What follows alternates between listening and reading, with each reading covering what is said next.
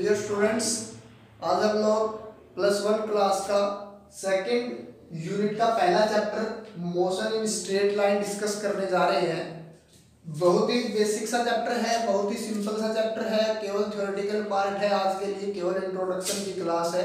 तो हम लोग स्टार्ट कर रहे हैं motion in straight line motion in straight line पढ़ने से पहले हमें कुछ एक टर्म्स को जानना है।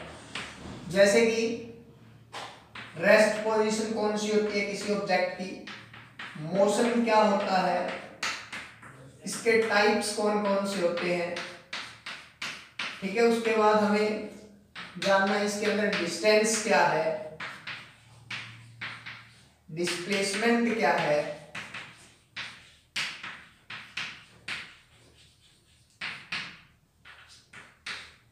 स्केलर्स वेक्टर्स क्या है? कुछ एक इस प्रकार की स्टडी हम लोग करेंगे मोशन इन स्ट्रेट लाइन के अंदर। तो आप लोग सबसे पहले हेडिंग डालेंगे रेस्ट कि रेस्ट क्या होता है? देखिए motion in straight line motion का अगर हम बिल्कुल सिंपल सा मीनिंग देखें तो मोशन क्या है? मूवमेंट किसी ऑब्जेक्ट का मूवमेंट ही क्या कहलाता है? मोशन कहलाता है। लेकिन अगर हम इसको थोड़ा सा और और डिटेल डिटेल से पढ़ें तो क्या होगा? सबसे पहले जैसे हम रेस्ट को डिफाइन कर रहे हैं कि रेस्ट क्या है। देखो जब क्या होता है कोई ऑब्जेक्ट रेस्ट में रहता है, यानी उसके अंदर मूवमेंट नहीं है। सबसे सिंपल डेफिनेशन की अगर हम लोग बात करें, यानी अगर किसी ऑब्जेक्ट में मूवमेंट नहीं है तो वो क्या है?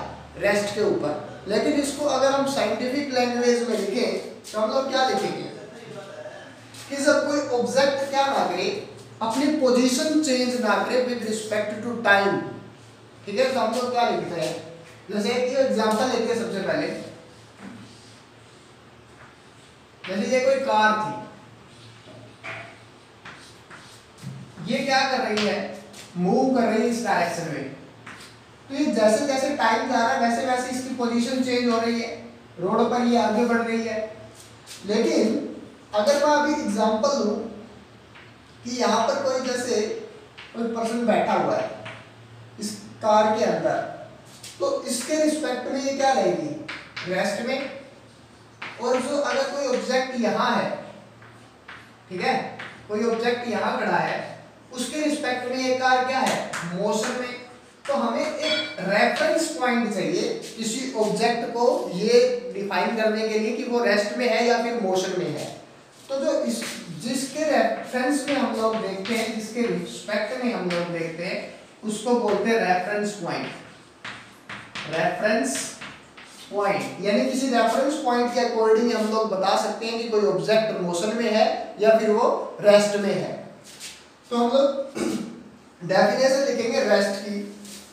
तो रेस्ट की डेफिनेशन में हम लोग क्या लिखेंगे? कि व्हेन एन ऑब्जेक्ट क्या लिखोगे? When an object change its position. When an object does not change does not change its position with respect to time with respect to time and its reference point. And its reference point. ठीक है? Rest करके क्या हुआ? कि जब कोई object अपनी position को चेंज नहीं करेगा, किसके साथ? टाइम के साथ और इसके रेफरेंस पॉइंट के साथ तो वो क्या हो जाएगा आपका? ऑब्जेक्ट किसके अंदर बोला जाएगा? रेस्ट के अंदर।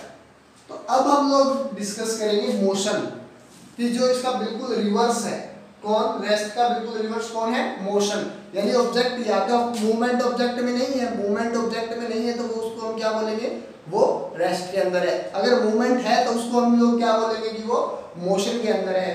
तो हम लोग मोशन को लिखेंगे कि मोशन क्या है?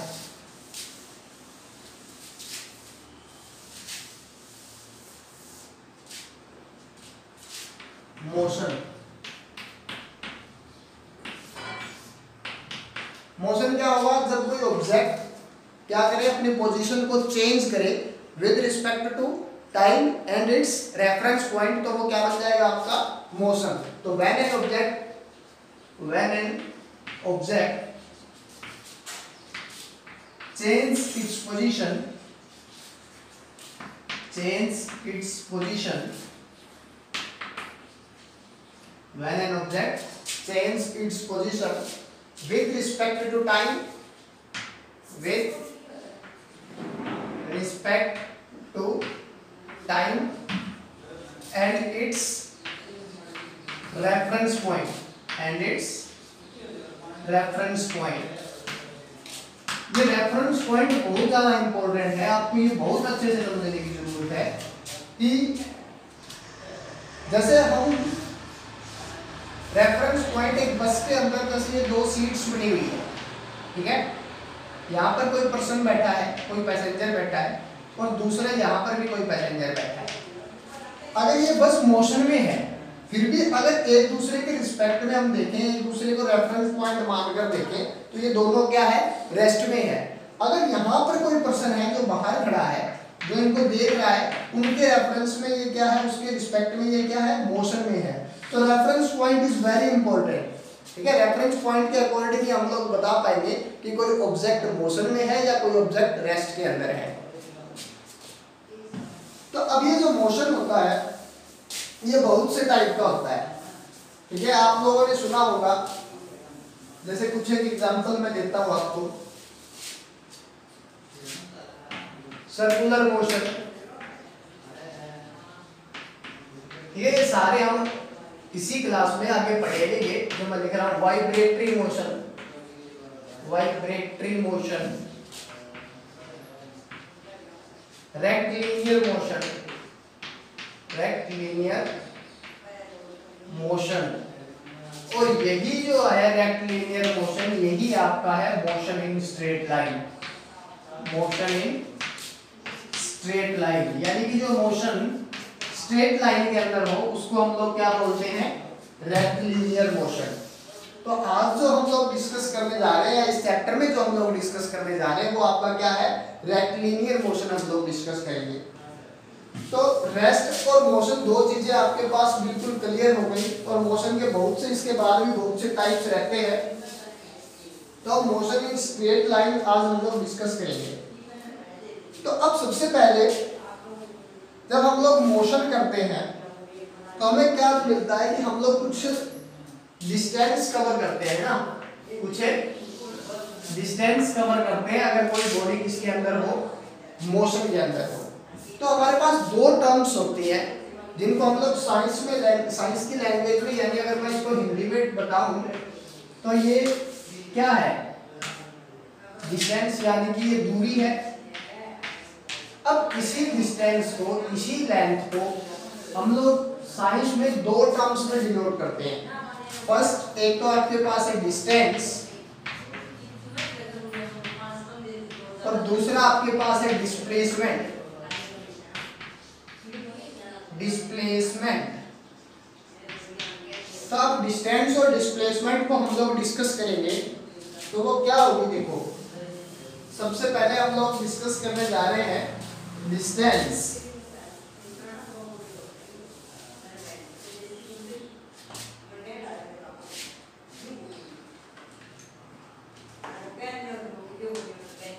तो हेडिंग डाल लीजिए। डिस्टेंस डिस्टेंस क्या है? The actual path the actual path covered by a body covered by a body is known as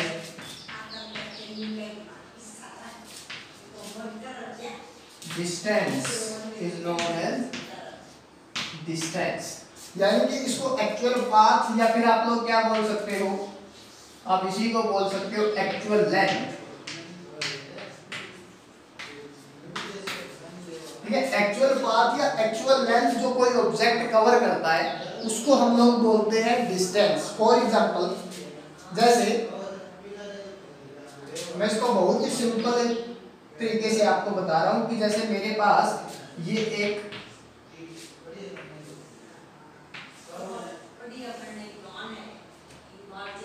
right angle triangle है। राइट एंगल ट्रायंगल एक हमारे पास है। इसके अंदर देखो, अगर ये पॉइंट ए है आपका, ये पॉइंट आपका बी है, ये पॉइंट आपका सी है, कोई ऑब्जेक्ट है, वो यहाँ से चलता है। ठीक है? यहाँ से पॉइंट बी पर आता है और फिर वो चला जाता है पॉइंट सी के ऊपर। यानी ये वाला लेंथ मैं लेंथ कर लेता हूँ थ्री मीटर है। ये वाली लेंथ मैं लेंथ कर लेता हूँ फोर मीटर है। ठीक है तो उसका जो डिस्टेंस होगा वो क्या होगा? एक्चुअल लेंथ एक्चुअल लेंथ या एक्चुअल पाथ वो क्या था? थ्री मीटर प्लस में फोर मीटर यानी कि अगर मैं इसके डिस्टेंस फाइंड आउट करने की बात करूँ तो वो डिस्टेंस होगा थ्री प्लस फोर मीटर यानी कि आपका सेवन मीटर डिस्टेंस क्या बन जाएगा? सेवन मीटर अब ये डिस्टेंस है ना, ये एक स्केलर क्वांटिटी है। Distance is a scalar quantity scalar और वेक्टर क्वांटिटी आप लोगों ने थोड़ा बहुत जो नाइन्थ के अंदर डिस्कस किया होगा कि स्केलर क्वांटिटी कौन सी होती है, जिसके अंदर केवल मैग्नीट्यूड की बात हो। अब ये सेवन है किस डायरेक्शन में है, कैसे है, हमें इस बात से कोई लेना देना नहीं है। हमें क्या करना है, हमें केवल मैग्नीट्यूड देखना है कि मैग्नीट्यूड दिख रहा है। मैग्नीट्यूड आपका कितना है? सेवन मीटर दैट्स ऑल इसके बाद हमें कुछ भी देखने की ज़रूरत नहीं है तो ऐसी क्वांटिटीज जिनके अंदर केवल हम लोग बात करें, इसकी मैग्नीट्यूड की, ऐसी क्वांटिटीज को हम स्केलर क्वांटिटी कहते हैं। तो इसी टाइप से आपकी डिस्टेंस जो है, वो क्या है?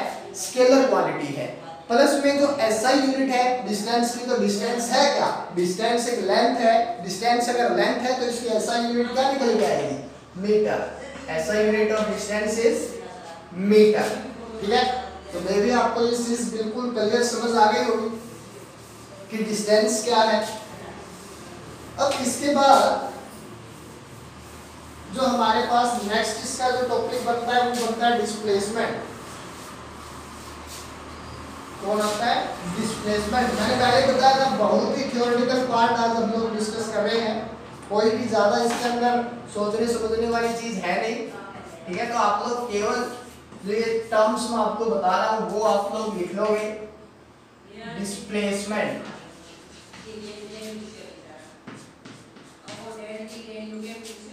अब डिस्प्लेसमेंट क्या है? डिस्प्लेसमेंट जब डिस्टेंस के साथ एक डायरेक्शन और जुड़ जाए, आपको पता चल जाए कि एक स्पेसिफिक डायरेक्शन में कोई बॉडी मूव कर रही है तो वो किसके अंदर कन्वर्ट हो जाता है? डिस्प्लेसमेंट के अंदर। तो इसकी जब हम लोग डेफिनेशन लिखते हैं तो हम लोग लिखते हैं कि minimum distance the minimum distance the minimum distance between initial point and final point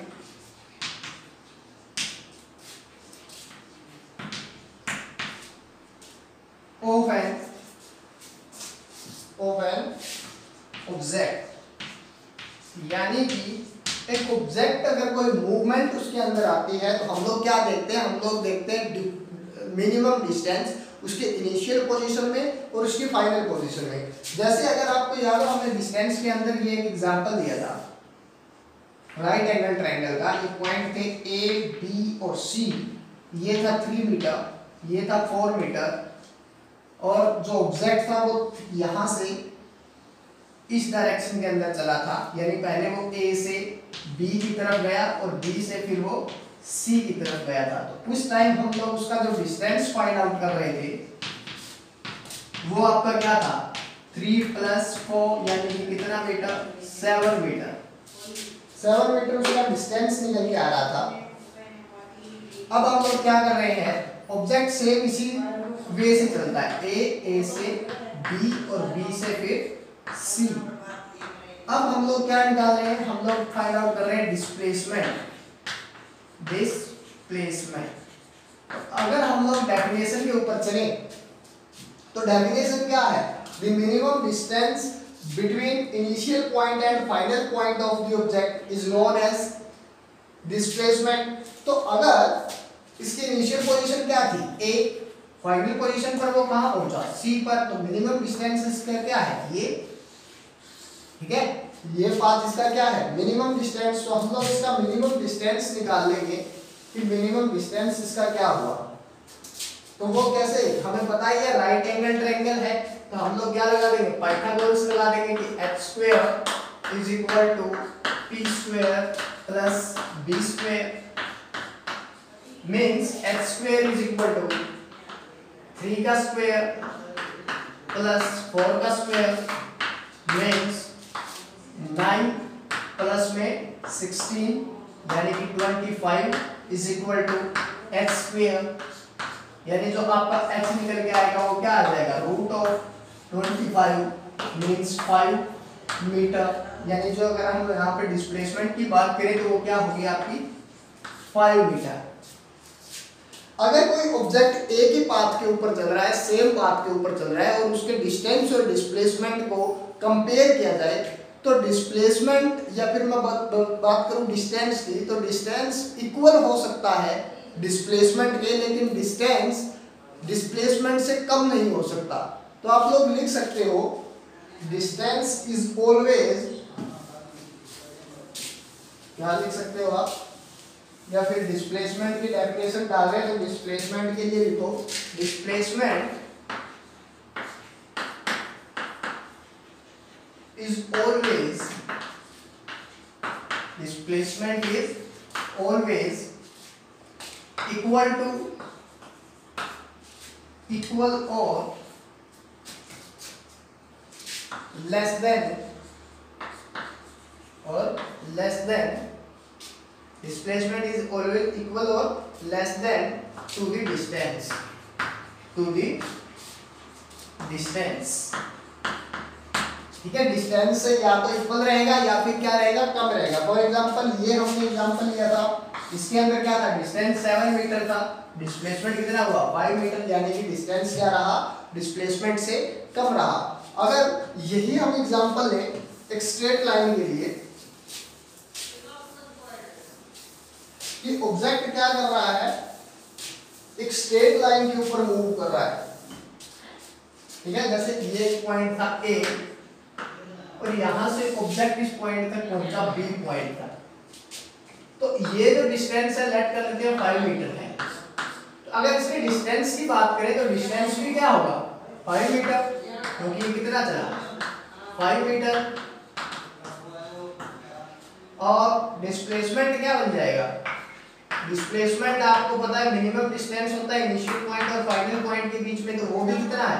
five metre तो ऐसे केसेस में स्ट्रेट लाइन के केस में डिस्टेंस और डिस्प्लेसमेंट इक्वल हो जाते हैं, वरना डिस्प्लेसमेंट हमेशा कम रहता है किससे? डिस्टेंस से। अब इसकी हम डिस्प्लेसमेंट की ऐसा यूनिट की बात करें तो वो क्या होगा? मीटर क्योंकि ये भी क्या है? डिस्टेंस ही है लेंथ ही है तो इसकी ऐसा यूनिट क्या रहेगी आपकी? डिस्प्लेसमेंट की ऐसा यूनिट क्या होगी? मीटर। ठीक है? डिनोट किससे करते हैं? एम से। प्लस में अगर हम इसकी बात करें कि ये कौन सी क्वांटिटी है? तो displacement is a vector quantity displacement is a vector quantity.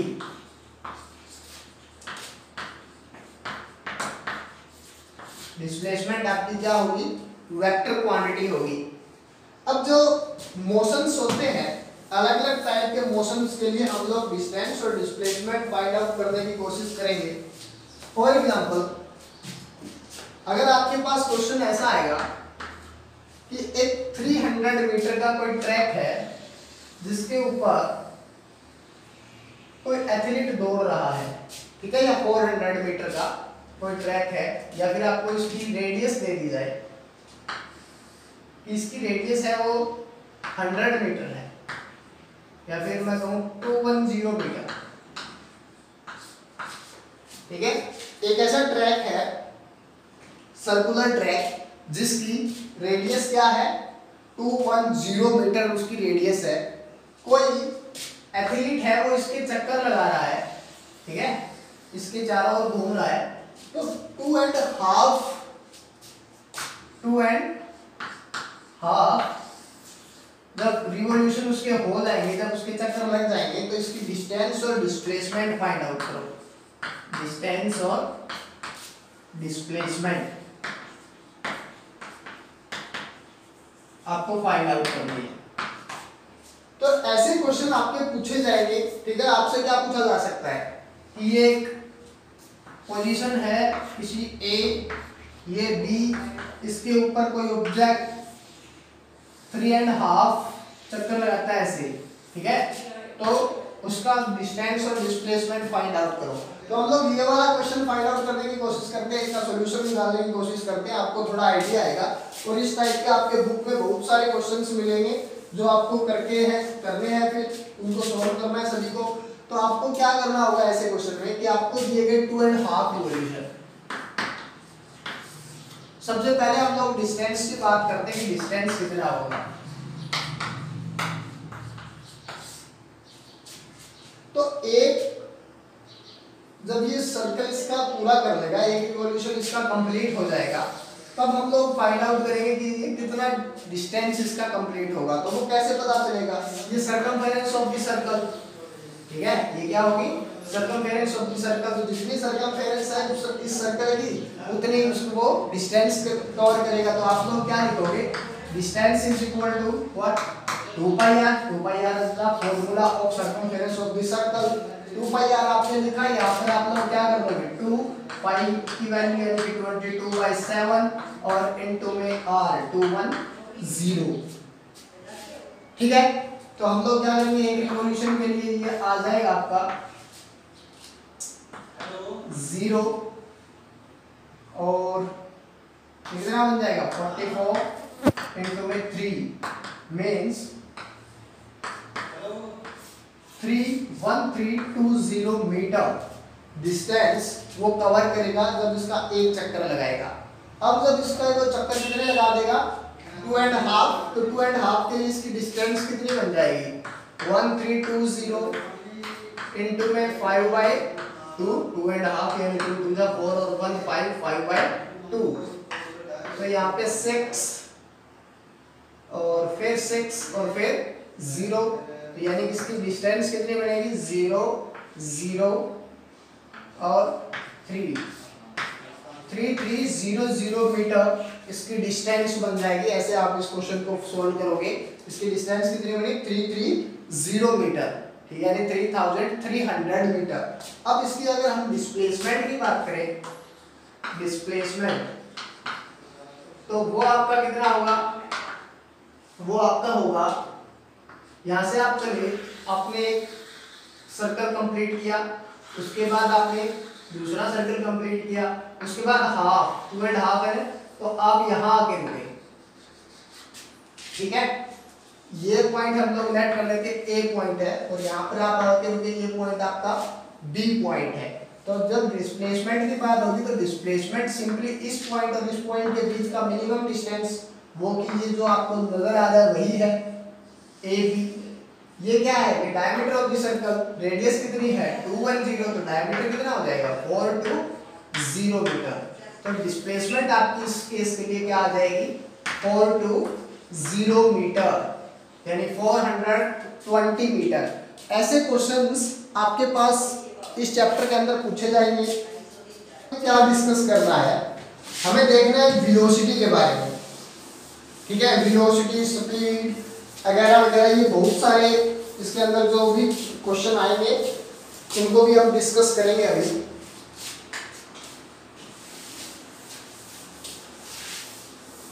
नहीं मोशन जो होता है,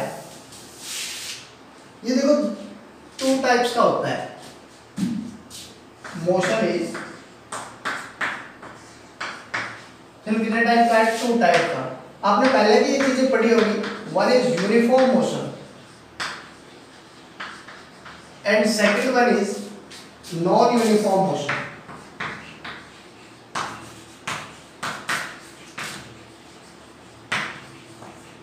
अब यूनिफॉर्म और नॉन यूनिफॉर्म मोशन कौन सा होता है? यूनिफॉर्म मोशन वो मोशन है जिसके अंदर क्या करता है? एक ऑब्जेक्ट सेम स्पीड से चलता है, आप ऐसे बोल सकते हो। यूनिफॉर्म मोशन यानी कि कोई ऑब्जेक्ट इक्वल डिस्टेंस कवर करे इक्वल इंटरवल ऑफ़ टाइम में।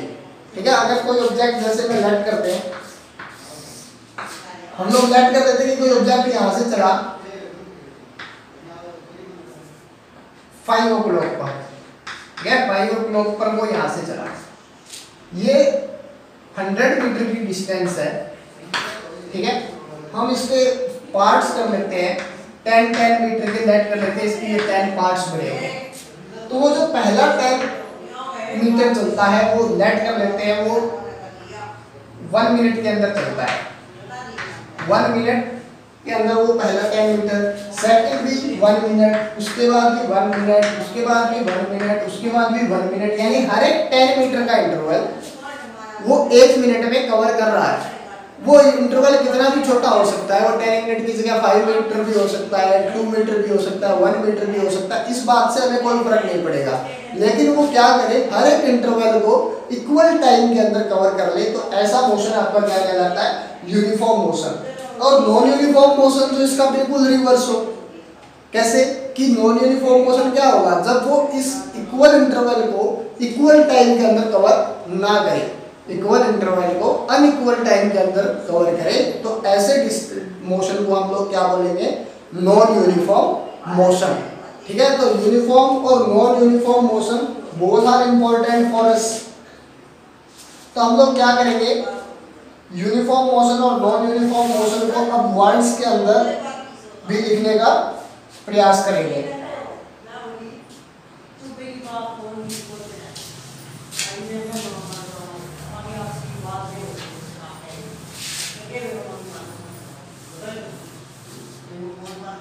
लिखिए motion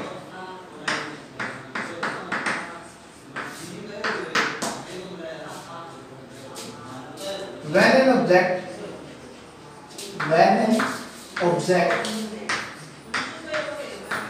cover equal distance when an object covers equal distance in equal interval of time in equal interval of time no matter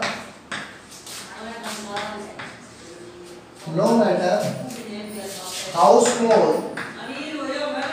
How small these intervals